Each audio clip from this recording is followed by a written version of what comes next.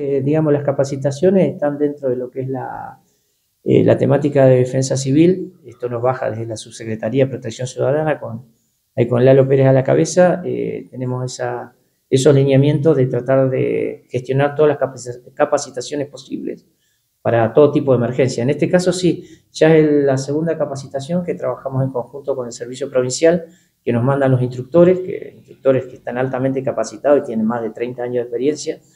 Y esto fue específicamente para Vialidad Nacional, eh, choferes y maquinistas de Vialidad Nacional y los municipios de toda la región.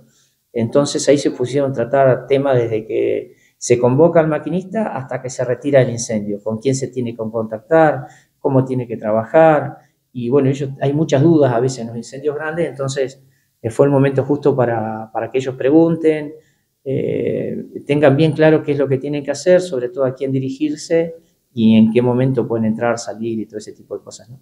Así que bueno, una, una oportunidad de tomar nota, aprender y bueno, en el caso de tener que eh, ponerse en funciones, eh, ya, ya, tener el conocimiento necesario. Sí, sí, sí, esa, esa es un poco la idea. A ver, eh, la impronta de lo que se busca es el trabajo en equipo, interinstitucional. Creemos que ese es el camino para poder afrontar todo tipo de, de emergencias.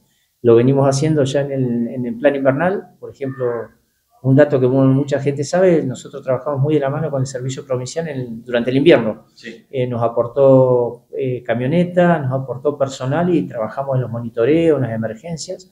Y bueno, ahora estamos abocados específicamente a lo que es incendios, pero bueno, tenemos todas las instituciones que están trabajando paralelamente e incluso estamos trabajando mucho en los nexos de, de capacitaciones entre instituciones, con vialidad, con bomberos, con los chicos de radioaficionados, con el grupo de búsqueda y rescate, eh, estamos haciendo capacitaciones en conjunto que vienen bien y nos ayuda a prepararnos para cualquier evento.